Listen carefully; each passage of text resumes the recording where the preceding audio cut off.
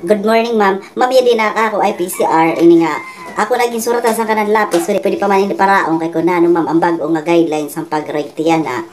Oo, oo. May kit mga bagong nga guidelines yan asin nga pag-rate. No? Akay bangin man, ma'am, kasi maging outstanding na akya na.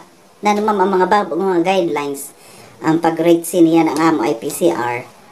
Adi, nakasurat sa DO number 0210 series 2023 sa Krawan 20%.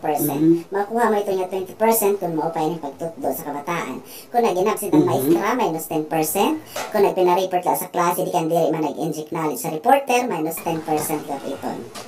Mapaya sa krato. Sa krato, mauta 20%. Makukuha mo lat ini nga 20% kung maupa ang learning environment. Kuli yung lat ini mga minus points.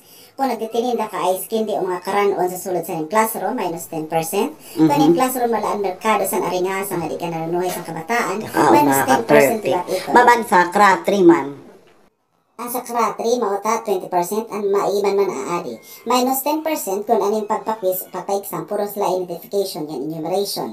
Minus 10 liwat kung ang answer antes ka magpa-exam, imo ginhatag, yung pamemorize mo na sa kabataan, base ataasan MPS. Ma'am, ang sa crafor, ma'am. Sa Crawford, 30%. Mas dako-dako ini.